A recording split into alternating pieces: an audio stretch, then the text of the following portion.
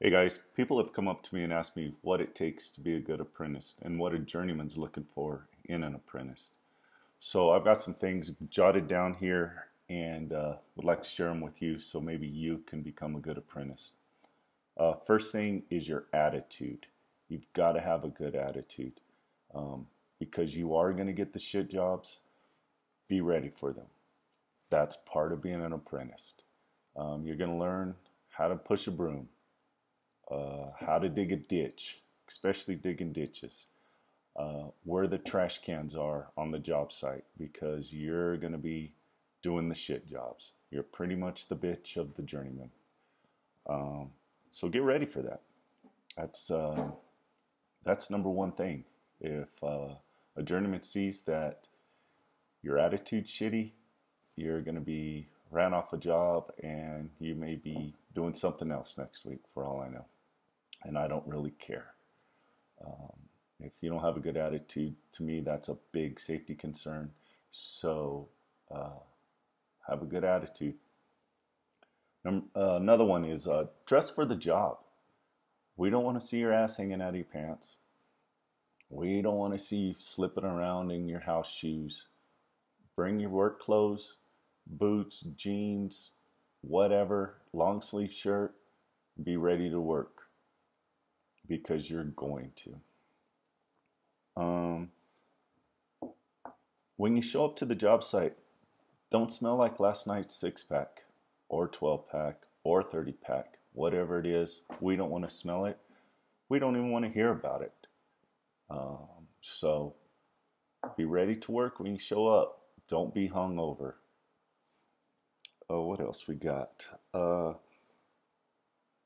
your phone keep your phone in your lunchbox or your vehicle.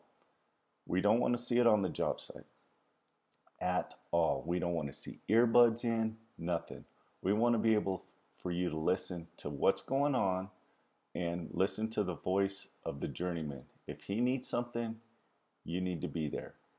So keep your earbuds and your phone and all the other crap off the job site.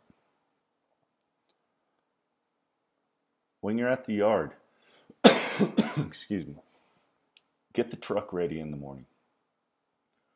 Unload the trash, clean it up, wash the windows, uh, fill up the water can, restock the truck with material.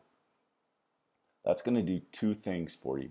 First, it's going to show you and teach you where the material is on the truck, and also you're going to learn what the material is. So restock the truck, clean out the back, get ready for today's job, whatever it's going to be. When you get to the job site, roll out the cords. Roll out the cords, get the ladders unloaded, get material set out for the day. Um, journeymans don't want to do that. They're off talking to the super, laying out the job, thinking about what they need to do. So you may think they're off dicking around and they're really prepping for today. So they don't want to go prep for today and then come back and have to unload material. So that is that's your job and get used to it. So also, you need to remember you are the bitch of the journeyman. He is going to test you and test you and test you. Um, he may not even remember your name for the first week because he's putting you through the test. If uh, if you make it through the first week, maybe he'll remember your name. Maybe two weeks later, he'll show you a little trick. So get used to that. Get ready for that. That's going to happen. Why do I want to show you everything I know or what you need to know the first day if you're just going to go whining off and not show up tomorrow?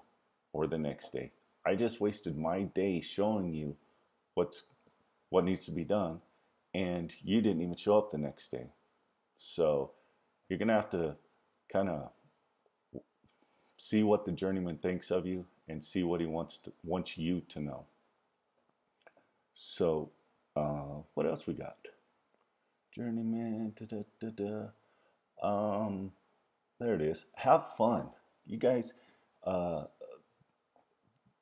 the job sites are awesome. They're shitty sometimes. It may be cold, it may be hot, but you're gonna learn learn some cool stuff, see some cool stuff, meet some neat people. So always have fun. Um, it's it's great out there.